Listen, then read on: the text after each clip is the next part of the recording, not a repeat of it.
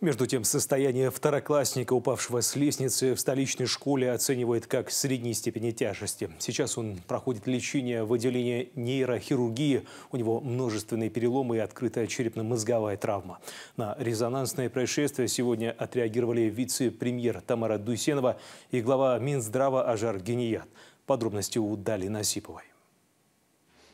Несчастный случай с падением семилетнего мальчика с лестницы в школе-гимназии номер 14 произошел 18 сентября. Подробности о случившемся и состоянии ребенка стали появляться в СМИ спустя неделю. Директор учебного заведения не торопился сообщать о произошедшем в управлении образования, чем усугубил ситуацию, считает Тамара Дюсенова. Подобные случаи нельзя замалчивать, говорит вице-премьер. Нельзя было скрывать нужно было сразу значит, об этом сказать. В этой связи значит, была проведена соответствующая работа управлением образования города Астаны. И значит, руководитель э, школы был значит, освобожден от занимаемой должности за ненадлежащее исполнение своей трудовой деятельности и за несвоевременное значит, предоставление информации для принятия, может быть, даже и управленческих решений в части оказания поддержки значит, пострадавшему ребенку.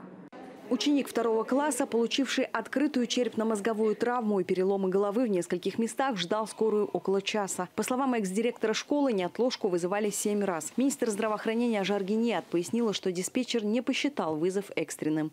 Категория срочности вызовов а, оценивается диспетчером станции скорой помощи.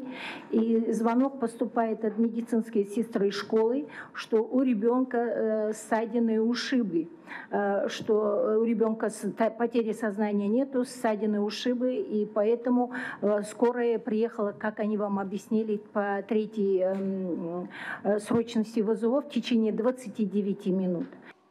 Сейчас родители пострадавшего мальчика готовятся подать в суд на администрацию школы. Они утверждают, что у ребенка ухудшается зрение, необходимо лечение за рубежом. В то время как лечащий врач отмечает положительную динамику. Консилиум пришел к решению, что срочных операций маленькому пациенту пока не требуется.